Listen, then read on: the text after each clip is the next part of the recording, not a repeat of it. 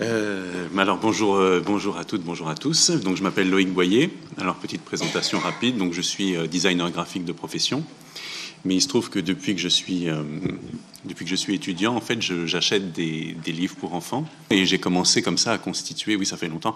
J'ai commencé à constituer ben, ce que au début j'avais du mal à accepter, mais une collection. Voilà, je suis devenu collectionneur. Et puis bon, ça va maintenant, j'assume relativement bien.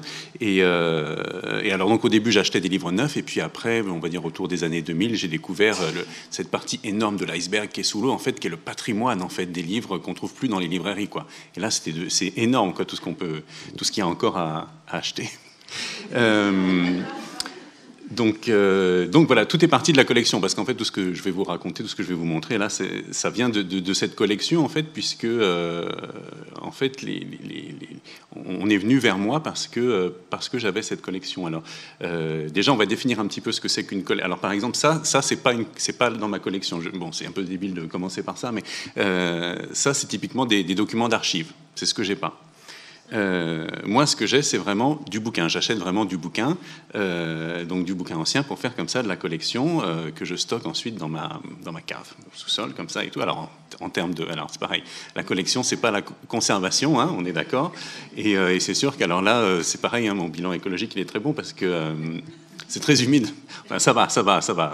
Ça va, ça va. Il y a des souris des fois un peu, mais elles mangent pas le papier, elles sont gentilles, elles font attention.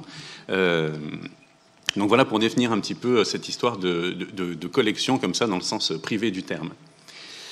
Euh, à un moment, il faut savoir qu'est-ce qu'on collectionne. Il faut se limiter. Il y a des gens, par exemple, qui vont collectionner euh, les grenouilles sous des formes, etc. C'est bien, ça fait des limites. moi, mes limites, on va dire, ça commence en 1911 avec cet album que je considère comme étant vraiment le début de, l'album jeunesse moderne, on va dire, hein, pour des raisons éditoriale, créative, enfin voilà. Et euh, bon, après, ça s'arrête plus, hein, parce que ça va jusqu'à jusqu'à aujourd'hui. Bon, euh, voilà.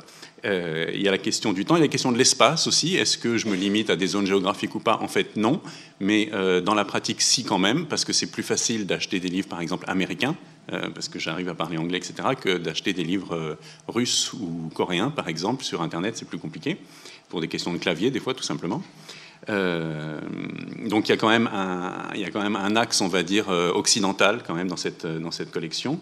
Et puis, euh, et puis quel type de choses aussi, voilà, quel type simplement. Hein. Donc c'est vraiment de l'album, c'est-à-dire qu'il n'y a, pas de, a pas de roman quasiment. et puis il y a quand même, si, il y a quand même des choses qui sortent un petit peu de la littérature jeunesse, parce que au, départ, l'idée de, au bout d'un moment, je me suis rendu compte que ce qui m'intéressait, euh, c'était vraiment le dessin pour les enfants d'une manière large, c'est-à-dire le dessin, oui, le dessin dans les livres, tout ça, ça c'est formidable, c'est la base, etc. Mais finalement, les jouets, les vêtements, etc. aussi étaient des choses très intéressantes. Alors, j'ai pas un volume de, jeux, de jouets qui est aussi important que celui, que, j'ai pour les, albums, mais euh, malgré tout, ça rentrait quand même dans ce truc, euh, et donc ça, a eu plusieurs usages je, que je vais vous raconter. Alors après, une fois qu'on a défini ça, euh, il y a quand même un tri à faire. Qu'est-ce que je fais? Est-ce que j'achète tous les albums que j'aime bien? Euh, Est-ce que j'achète euh, des albums que j'aime pas mais qui sont bien? C'est pas la même chose. Donc ça, oui, ça m'arrive d'acheter des albums que, je, mais voilà, que je considère comme étant bien, mais c'est pas forcément des albums que moi j'aurais acheté pour des enfants ou quoi que ce soit. Euh, et puis voilà, l'idée c'est vraiment de... Euh, j'avais mes notes en fait, hein, parce que là je parle, mais euh, j'avais noté des trucs.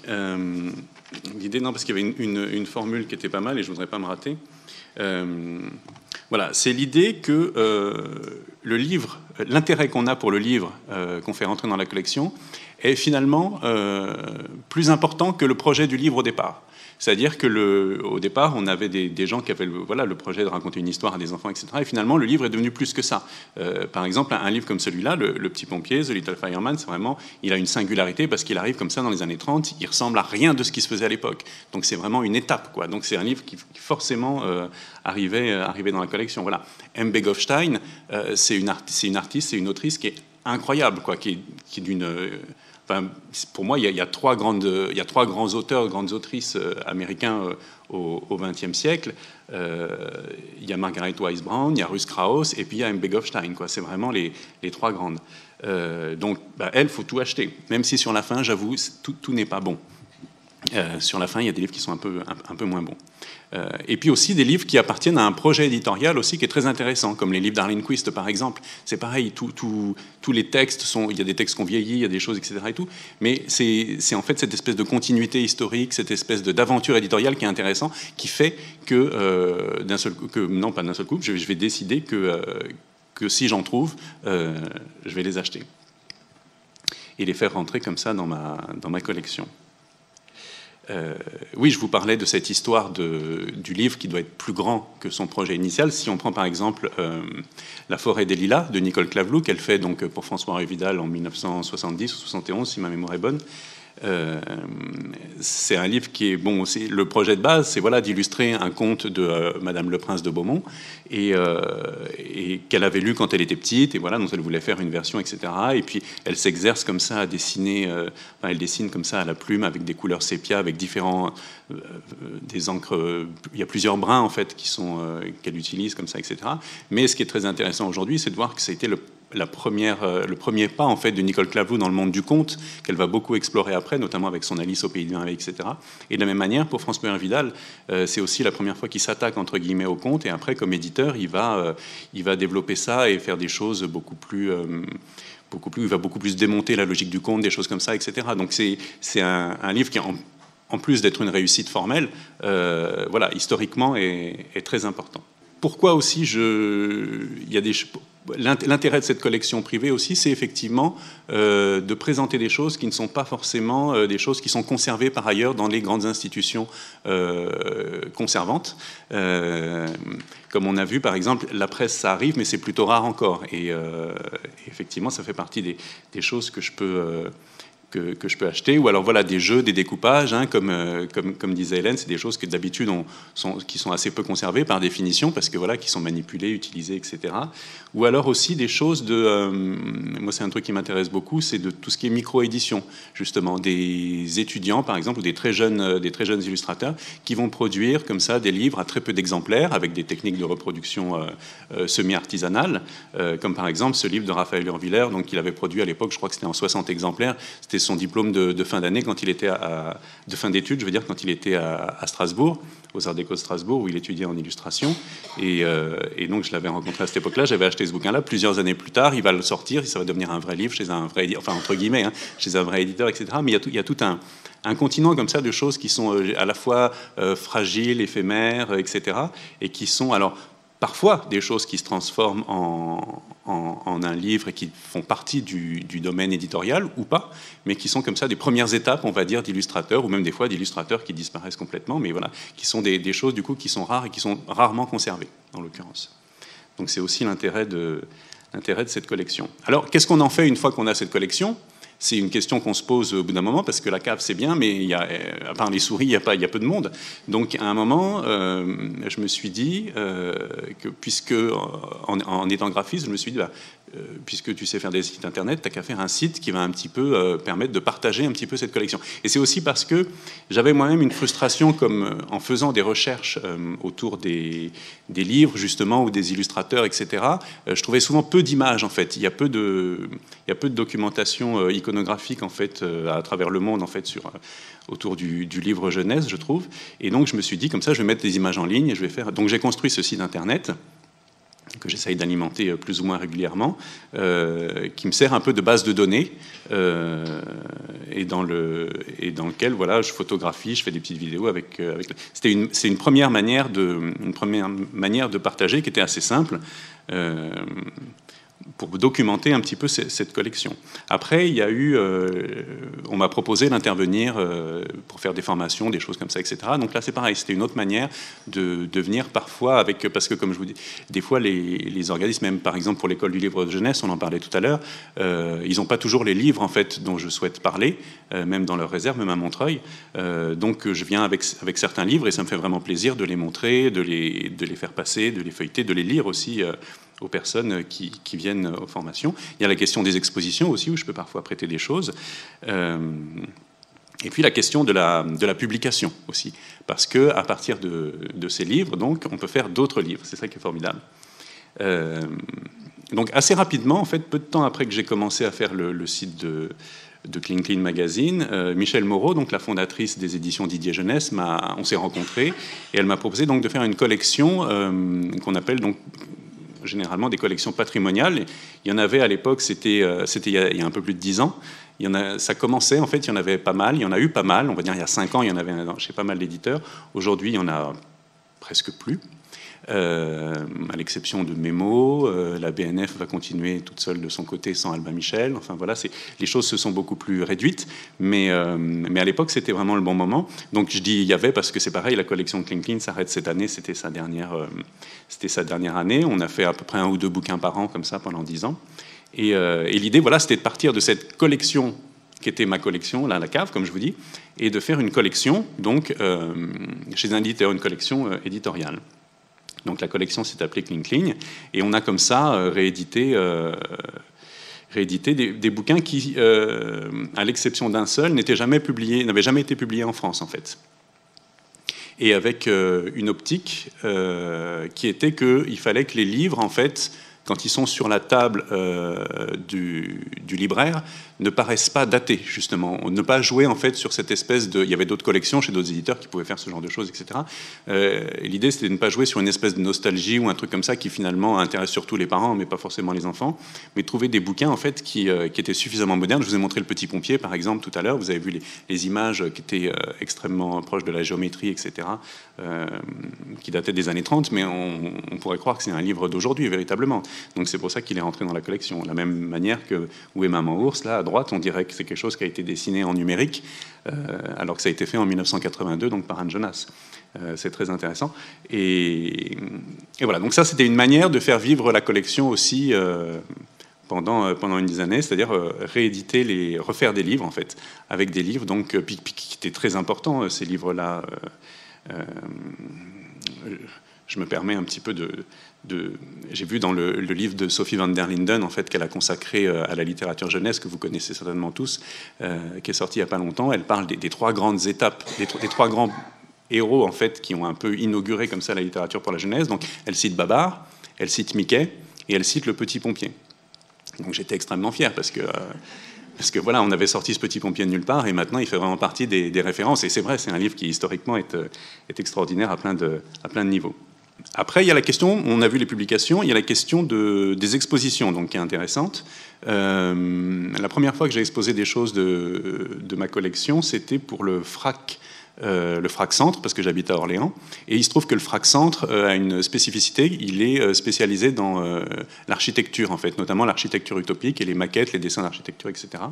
Et donc je leur avais proposé, j'avais acheté donc ce, ce qu'on voit ici, c'est un jouet qui a été conçu par Charles et Ray Eames, qui sont des designers américains, euh, donc, ils ont conçu ce jouet dans les années 50. C'est une espèce, ça s'appelle le toy, le jouet, parce que c'est rien et c'est tout à la fois. C'est-à-dire qu'on peut tout faire avec. C'est des baguettes et des surfaces comme ça en papier.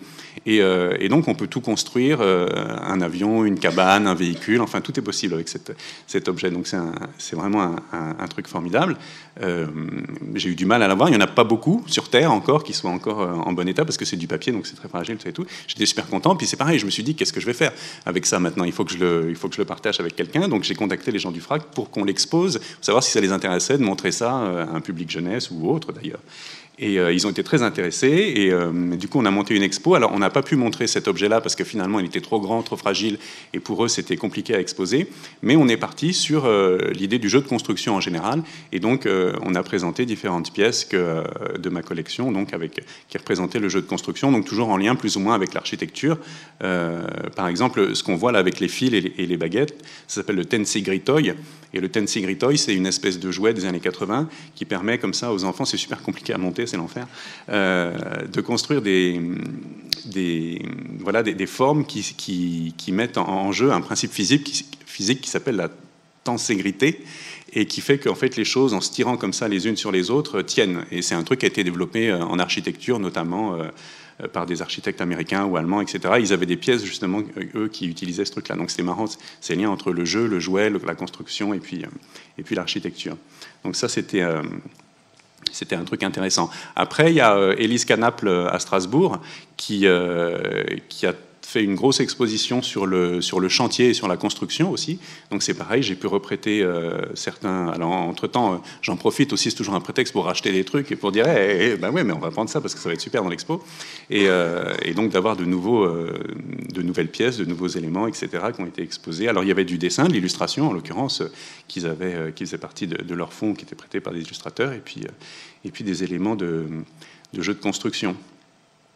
Euh, et puis il y a eu cette exposition à Lyon euh, en début d'année, donc de janvier à juin de, cette année, qui était, euh, qui était un, gros, un gros élément, puisqu'on a travaillé un peu plus d'un an dessus, donc avec les gens des bibliothèques de Lyon, qui était autour de...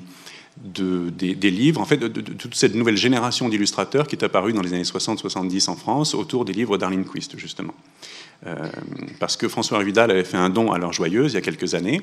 Et euh, à cette époque-là, j'étais allé voir euh, un petit peu ce qu'il y avait. J'avais commencé à travailler dessus, d'abord pour un colloque, etc. Et puis, au bout de quelques années, je m'étais dit que ce serait peut-être intéressant d'en faire. Alors, j'avais rencontré la directrice des éditions Mémo, et on s'était dit qu'un jour, il faudrait qu'on fasse un projet éditorial ensemble. Et j'avais rencontré également Violaine Canmaché de, de, la, BM de Lyon, donc qui est responsable du secteur jeunesse, qui avait envie qu'on fasse une expo un jour ensemble. Et donc, à un moment, j'ai réussi à connecter les trucs dans ma tête et je les ai appelés l'une après l'autre euh, pour le projet d'exposition et pour faire un livre sur ce même sujet. Euh, et, toutes les deux ont dit oui, donc euh, donc c'était chouette.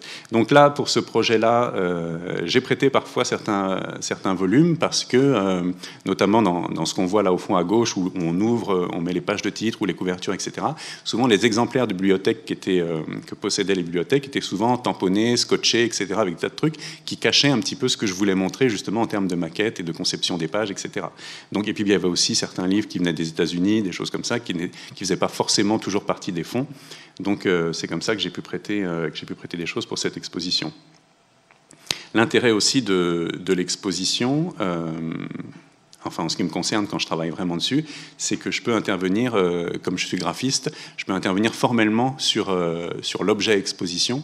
Et ça, c'est un truc que, je considère très important parce que c'est, en fait, il suffit pas juste de montrer des beaux trucs. En fait, il faut vraiment concevoir l'exposition comme un, oui, comme un véritable objet en fait euh, complet, total, euh, à l'intérieur duquel les, visiteurs en fait vont trouver une espèce de cohérence. Euh, alors, ce qui était formidable en plus à la BM de Lyon, c'est qu'il y a des menuisiers sur place, toute une équipe, etc., qui peuvent faire des tas de choses et qui ont apporté plein d'idées. Et donc, ça, ça a permis de, ça a permis de faire, de faire un super truc. Ça, c'est une autre vue de l'exposition. Euh, on voit donc, oui, c'est intéressant parce que la plupart des trucs qui sont sous les cloches là devant, c'est des choses qui viennent de, ma collection. Et puis on voit au fond euh, les originaux, les deux originaux à gauche, c'est ce qui a, c'est ce que donc on a emprunté. Ça fait partie de tout ce qu'on a emprunté donc euh, à l'heure joyeuse. Et les deux originaux à droite, ce sont des choses qu'on a empruntées au musée de l'illustration jeunesse de Moulins. Parce qu'au moment où je où j'étais en train de travailler sur cette exposition et sur le livre, j'ai fait ça à peu près en même temps. Les, je travaillais aussi pour le, musée de l'illustration jeunesse de Moulins qui m'avait demandé de faire un truc. Et, euh, à un moment, je me suis dit, mais peut-être peut-être que vous en avez des originaux en fait de cette époque aussi. Et effectivement, le musée de l'illustration jeunesse de Moulins a une politique d'achat auprès des illustrateurs, et donc ils avaient des choses très intéressantes, donc qui se sont trouvées à la fois dans le livre euh, et dans l'exposition. Une autre exposition, là, c'était à Bordeaux, c'était il, y a 15 jours, 3 semaines, c'était au Festival Gribouillis, et c'était une exposition euh, consacrée à Nicole Clavelou, où voilà, c'était un espace très différent. Il y avait peu de possibilités d'intervenir véritablement sur la scénographie, mais, euh, mais j'ai pu faire euh, le graphisme, etc., ramener un petit peu de couleur dans, le, dans l'espace. Et, là, pour le coup, à nouveau, on a fait appel au fond de, de l'heure joyeuse pour tout ce qui est la partie jeunesse. Alors c'est intéressant parce qu'il y avait une partie, oui, qui venait de l'heure joyeuse et une partie qui était des originaux qui venaient de Nicole Clavou elle-même, en fait, qu'elle avait prêté. Euh, donc c'était deux sources, différentes. Moi, j'ai rien prêté du tout sur celle-ci. Euh, mais alors, ce qui était intéressant, c'est qu'on intervenait, euh, je vous dis là, en septembre, et l'expo de Lyon se terminait en juin, et on était à peu près sur le même fond.